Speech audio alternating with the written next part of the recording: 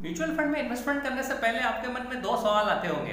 पहले कि हम अगर इन्वेस्टमेंट करें तो एक साथ यानी लॉन्ग इन्वेस्टमेंट करें, या एसआईपी के तहत इन्वेस्टमेंट करें, जो कि रेगुलर इंटरवल रेगुलर इंटरवल पे इन्वेस्टमेंट करता है। तो आज इस वीडियो में हम जानेंगे, इसमें डिफरेंशिएशन जानेंगे, और इसमें कौन सा सही है, कौन सा तरीका अपनाना चाहिए इन्वेस्टमेंट करने के लिए म्यूचुअल फंड में, इसके बारे में पूरा डिटेल समझने की कोशिश करेंगे।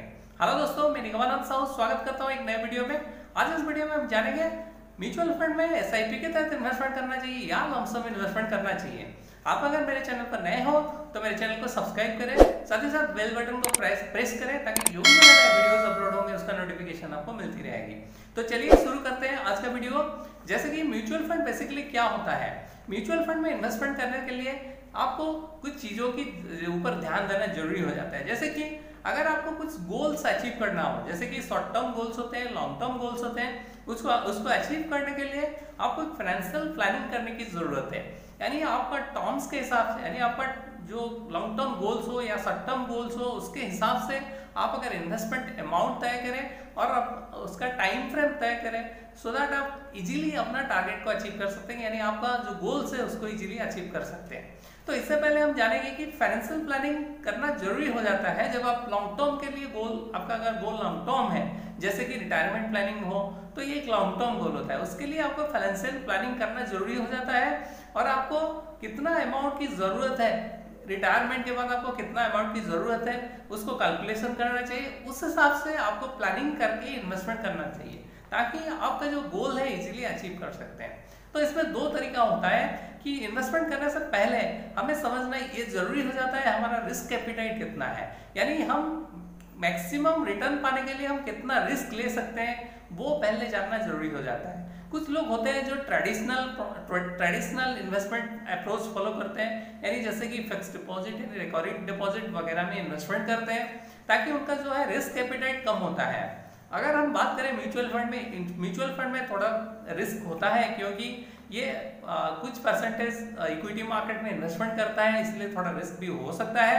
लेकिन रिस्क को मिनिमाइज करने के लिए फंड मैनेजर का ड्यूटी बनता है कि वो आपको पोर्टफोलियो को डाइवर्सिफाई करें। यानी म्यूचुअल फंड में आपको डाइवर्सिफिकेशन मिलता है सो दैट आपका जो रिस्क है थोड़ा कम हो सकता है। और और कुछ ऐसी चीज़ें होती है यानी जैसे कि अगर अगर हम बात करें एसआईपी के तहत आप अगर इन्वेस्टमेंट करते हैं रेगुलर इंटरवल पे तो इसमें भी आपका रिस्क कम हो जाता है। और इसमें आसानी से आप अपना फाइनेंशियल गोल को आसानी से अचीव कर सकते हैं। तो ये ये तरीका अपनाने से म्यूचुअल फंड में थोड़ा रिस्क होता है, लेकिन कुछ ऐसे तरीके अपना से, अपनाने से, यानी जो जैसे कि फंड मैनेजर की मैंने बात करी डाइवर्सिफिकेशन की बात करी और एस की बात करी, उसको आप फॉलो करेंगे तो आपका रिस्क भी कम हो सकता है।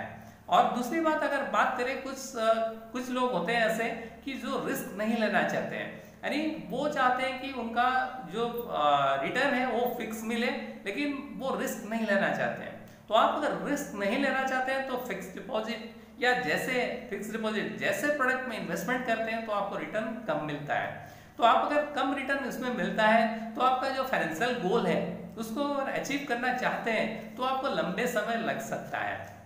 अगर आप थोड़ा सा अगर इसमें रिस्क को अगर ऐड कर दें, यानी थोड़ा रिस्क अगर लें सो so, आप अगर म्यूचुअल फंड में इन्वेस्टमेंट करें ताकि आपका जो गोल है इजीली अचीव कर सकते हैं और शॉर्ट टाइम फ्रेम में भी अचीव कर सकते हैं। यानी जो चीज़ें आप फिक्स डिपॉजिट में इन्वेस्टमेंट करते हैं जितना टाइम में वो पैसा इकट्ठा करते हैं उतना उससे कम समय में आप म्यूचुअल फंड के तहत इन्वेस्टमेंट करके अपना टारगेट अचीव कर सकते हैं या अपना गोल को फुलफिल कर सकते हैं। तो आइए बेसिक समझते हैं कि म्यूचुअल फंड में इन्वेस्टमेंट करने से पहले हमें कौन सा तरीका अपनाना चाहिए। लमसम इन्वेस्टमेंट अपनाना चाहिए या एस के तहत इन्वेस्टमेंट करना चाहिए। पहले समझने की कोशिश करते हैं म्यूचुअल फंड का बेसिक बेसिक क्या होता है? जैसे म्यूचुअल फंड होता है कि ये पैसा जो है, आपका पैसा इकट्ठा होता है, कई सारे लोगों का पैसा इकट्ठा होता है और वो पैसा वेल डाइवर्सिफाइड पोर्टफोलियो होता है। उसमें कई सारे क्लासेस में इन्वेस्टमेंट किया जाता है, यानी जैसे इक्विटी एक क्लासेस होता है, एक डेट होता है, इसके अलावा गोल्ड होता है और उसके अलावा जैसे रियल स्टेट होता है। यानी कई सारे असेट क्लासेस में पैसे इन्वेस्टमेंट होते हैं। तो म्यूचुअल फंड बेसिकली फॉलो करता है वेल डाइवर्सिफाइड पोर्टफोलियो फॉलो करता है। चाहे आप इक्विटी एसेट क्लास में ले लीजिए या अक्रॉस एसेट क्लास में इन्वेस्टमेंट होता है उसमें। इसीलिए आपका पोर्टफोलियो जो है वेल डाइवर्सिफाइड पोर्टफोलियो हो जाता है। इसीलिए रिस्क भी कम हो जाता है। तो ये बेसिक फंड होता है म्यूचुअल फंड में इन्वेस्टमेंट करने से। आपका पोर्टफोलियो वेल डाइवर्सिफाइड होता है और खास करके प्रोफेशनल मैनेजमेंट का बेनिफिट इसमें मिलता है क्योंकि फंड मैनेजर्स होते हैं, उनको काफ़ी सालों का एक्सपीरियंस होता है इन्वेस्टमेंट में, वो आपका पोर्टफोलियो को अच्छी तरह से मैनेज करते हैं सो दैट आपका रिस्क भी कम हो जाता है। Mutual fund multi asset class में भी इन्वेस्टमेंट कर सकता है, यानी एक पोर्टफोलियो में आप उसमें इक्विटी एसेट क्लास में इन्वेस्टमेंट कर सकते हैं, साथ ही साथ डेट में इन्वेस्टमेंट कर सकते हैं, या तो रियल स्टेट या गोल्ड जैसे एसेट क्लास में इन्वेस्टमेंट कर सकते हैं। यानी दो से ज़्यादा एसेट क्लास में एक म्यूचुअल फंड के तहत आप इन्वेस्टमेंट कर सकते हैं। तो इसमें वेल डाइवर्सिफिकेशन आपको देखने को मिलेगा। अगर सेकंड पॉइंट की बात करें equity asset class asset class के अंदर भी, भी आप डाइवर्सिफिकेशन देखने को मिलेगा म्यूचुअल फंड में देखने को मिलता है क्योंकि वहाँ पे इक्विटी एसेट क्लास में जैसे large mid small cap category stock होते हैं उसमें ये इन्वेस्टमेंट करता है म्यूचुअल फंड इसलिए एक वेल डाइवर्सिफाइड पोर्टफोलियो हो जाता है। तो इसीलिए आपका रिस्क कैपिटल को नज़र में रखते हुए आप अपना तरीके से चूज़ कर सकते हैं कि कौन सा म्यूचुअल फंड में आप इन्वेस्टमेंट करने से सही रहेगा।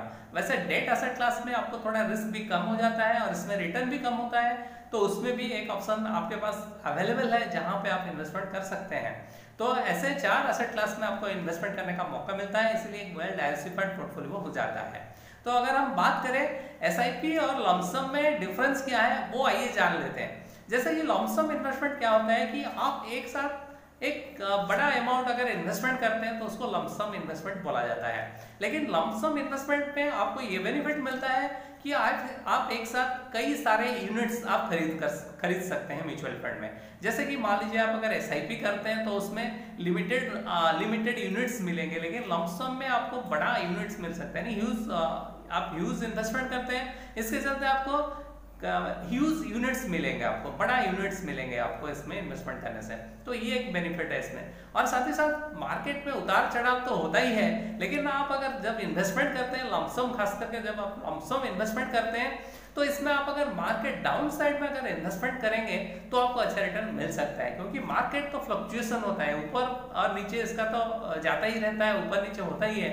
आप अगर लोअर साइड में अगर इन्वेस्टमेंट करते हैं लमसम इन्वेस्टमेंट तो उसमें आपको काफ़ी अच्छा रिटर्न मिलने का चांसेस है। अगर हम एस की बात करें एस एक सिस्टमेटिक तरीका होता है इन्वेस्टमेंट करने का म्यूचुअल फंड में। जैसे कि रेगुलर इंटरवल पे इन्वेस्टमेंट करता है और इसमें छोटा अमाउंट में इन्वेस्टमेंट किया जा सकता है, जो कि मिनिमम पाँच सौ से शुरू कर सकते हैं। तो इसीलिए एक छोटा इन्वेस्टमेंट में आप एक बड़ा पोर्टफोलियो में इन्वेस्टमेंट कर सकते हैं। जैसे कि आप अगर एक पर्टिकुलर स्टॉक की अगर हम बात करें, एक पर्टिकुलर स्टॉक अगर उसका शेयर का प्राइस अगर पाँच हज़ार रुपए होंगे तो पाँच सौ रुपए में आपको एक भी शेयर नहीं मिलने वाला है। आप अगर डायरेक्टली स्टॉक में इन्वेस्टमेंट करते हैं तो। लेकिन वही शेयर अगर आप पचास शेयर पाँच सौ रुपए अगर इन्वेस्टमेंट करते हैं तो पचास शेयर एक साथ खरीदी जा सकती है म्यूचुअल फंड के तहत। तो इसीलिए सबसे कम, सबसे प्लस पॉइंट ये है म्यूचुअल फंड में। आप कम से कम पाँच सौ रुपए इन्वेस्टमेंट करके अपना म्यूचुअल फंड इन्वेस्टमेंट शुरू कर सकते हैं। और एक वेल डाइवर्सिफाइड पोर्टफोलियो हो जाता है और इसमें रिस्क कैपिटेट कम होता है और साथ ही साथ इसमें आपको एक्सपेंस रेशियो यानी आपका जो खर्चा होता है कम होता है इन कंपैरिजन टू डायरेक्टली आप जब स्टॉक में इन्वेस्टमेंट करते हैं, वहाँ से खर्चा इसमें कम हो जाता है क्योंकि आपका जो एक्सपेंस होता है वो भी डाइवर्सिफाइड होता है। नहीं डिस्ट्रीब्यूट होता है, हो जाता है, जितने सारे क्लाइंट इन्वेस्टमेंट करते हैं, उनके अंदर ये डिस्ट्रीब्यूट हो जाता है। इसीलिए इसमें कम भी आपको एक्सपेंस रेशियो यानी जो खर्चे होते हैं, वो कम लगता है इन कंपेरिजन टू जब आप डायरेक्टली स्टॉक में इन्वेस्टमेंट करते हैं तो ये बेसिक डिफरेंस हो जाता है।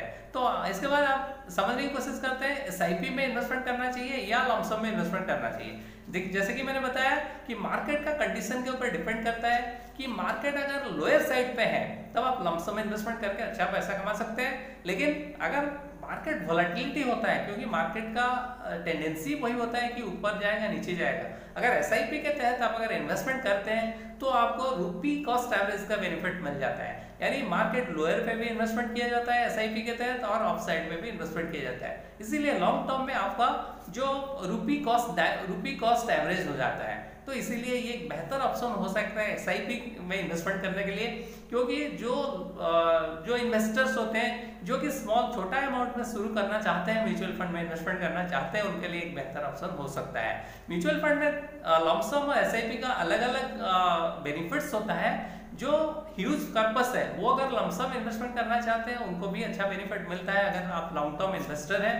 लेकिन मार्केट का लोअर साइड में, यानी डाउन साइड में इन्वेस्टमेंट करने से अच्छा प्रॉफिट मिल सकता है अच्छा रिटर्न आपको मिल सकता है। तो ये बेसिक डिफरेंस होता है, लेकिन आप कब इन्वेस्टमेंट करें लमसम और एसआईपी कब इन्वेस्टमेंट कर सकते हैं? जैसे एसआईपी की अगर बात करें, आप कभी भी एस को स्टार्ट कर सकते हैं, क्योंकि एसआईपी आपको रूपी का एवरेजिंग का बेनिफिट देता है, इसीलिए आप कभी भी आप स्टार्ट कर सकते हैं, क्योंकि मार्केट का ऊपर में भी इन्वेस्टमेंट होता है और नीचे में भी इसका इन्वेस्टमेंट होता है, क्योंकि आपका जो अमाउंट होता है फिक्स अमाउंट आप रेगुलर इंटरवल पे इन्वेस्टमेंट करते हैं, इसीलिए वेल डाइवर्सिफिकेशन मिलता है, साथ ही साथ आपका रूपी कॉस्ट एवरेजिंग हो जाता है। तो ये बेसिक डिफरेंस होता है म्यूचुअल फंड और म्यूचुअल फंड का लमसम इन्वेस्टमेंट में और एसआईपी इन्वेस्टमेंट में। तो आइए जानते हैं कि हमें कौन सा तरीका अपनाने से, यानी लॉन्ग इन्वेस्टमेंट से ज़्यादा रिटर्न मिलने वाला है, या एसआईपी के तहत इन्वेस्टमेंट करने से आपको ज़्यादा रिटर्न मिलने वाला है अगर आप लॉन्ग टर्म इन्वेस्टर है? यानी आपका अगर लॉन्ग टर्म गोल है, यानी रिटायरमेंट प्लानिंग जैसे प्लानिंग करना है आपको म्यूचुअल फंड के तहत इन्वेस्टमेंट करके तो आपको कौन सा तरीका अपनाना चाहिए? या कौन सा रिटर्न ज़्यादा कौन सा, किसमें ज़्यादा रिटर्न मिलने वाला है, उसके बारे में जान लेते हैं। लॉन्ग इन्वेस्टमेंट में आपको ज़्यादा रिटर्न मिल रहा है या एसआईपी के तहत अगर इन्वेस्टमेंट करते हैं तो आपको ज़्यादा रिटर्न मिल रहा है, इसमें देख लेते हैं। हम तीन एग्ज़ाम्पल लिए हैं। एक मल्टी कैप फंड का एग्ज़ाम्पल लिया है और एक मिड कैप और एक स्मॉल कैप कैटेगरी के म्यूचुअल फंड का डिटेल लिया है इसका एग्ज़ाम्पल के तौर पर जैसे पहले अगर बात करें फ्लेक्सी कैप फंड की, हमने Aditya Birla flexi cap fund का एक एग्ज़ाम्पल लिया है, जिसका हम स्क्रीन स्क्रीनशॉट में आपको हम दे देंगे। जैसे कि ये अगर देखें, इसका ट्रेलिंग रिटर्न की बात करें, ये पिछले तीन साल में रिटर्न दिया है 14.51 परसेंटेज का पाँच साल का रिटर्न है 14.69 परसेंटेज का अगर 10 साल के रिटर्न देखें, ये 17.43 परसेंट का रिटर्न दिया है। जबकि अगर हम लमसम की बात करें लमसम इन्वेस्टमेंट की बात करें, इसमें आप अगर एक एक लाख रुपए अगर 10 साल पहले इन्वेस्टमेंट करते तो आपका जो अमाउंट है 4.99 लाख रुपए हो गया होता 10 साल के बाद। ठीक है? यानी लमसम में आप एक साल लमसम में दस साल अगर इन्वेस्टमेंट किया है आपने इस फंड में, एक लाख रुपए, ये चार लाख निन्यानवे हज़ार रुपए हो गया है। अगर एस की बात करें, हम अगर एस आई पी के तहत अगर इन्वेस्टमेंट करते हैं, यानी दस हज़ार रुपए हर महीना अगर इन्वेस्टमेंट करते हैं, बारह लाख रुपए इकट्ठा करते हैं दस साल के अंदर, और उसका जो वैल्यूशन होता है, वो इकतीस लाख सत्रह हज़ार, इकतीस पॉइंट वन सेवन लाख हो गया है। तो ये डिफरेंस हो जाता है अगर लमसम में इन्वेस्टमेंट करते हैं या तो एसआईपी के इन्वेस्टमेंट करते हैं इसमें प्राइस का इसमें जो रिटर्न का डिफरेंस काफ़ी हो जाता है। तो इससे पता चलता है अगर हम बात करें दूसरे फंड की बात करें अगर मिड कैप फंड का हमने एग्ज़ाम्पल लिया है जैसे कि एक्सिस मिड कैप फंड का लिया है इसका जो आ, हुआ है इसका जो एवरेज रिटर्न दिया है इसका देख लेते हैं।